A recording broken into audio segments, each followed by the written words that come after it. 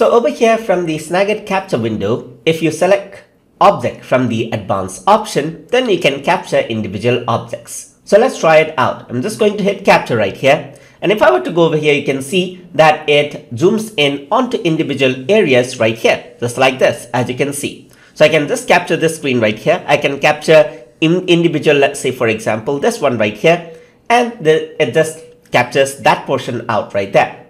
Let me try that out again with the, the PC icon right here. And once I do that, open editor, I only have that object.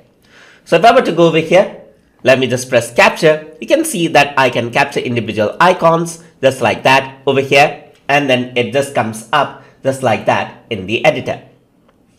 Besides that, you can also work around with multiple areas. So when I choose multiple areas and capture, I can select out areas right over here manually or I can click somewhere to select that area out. I can restart to actually deselect everything. So I, I want this area, for example, this area, and then I want this area. So I'm just going to drag this out and three of the areas has been selected. So what I can do now is click on the finish button and what happens is that three of the area right here appears and other parts remain transparent. So you can edit them however you want.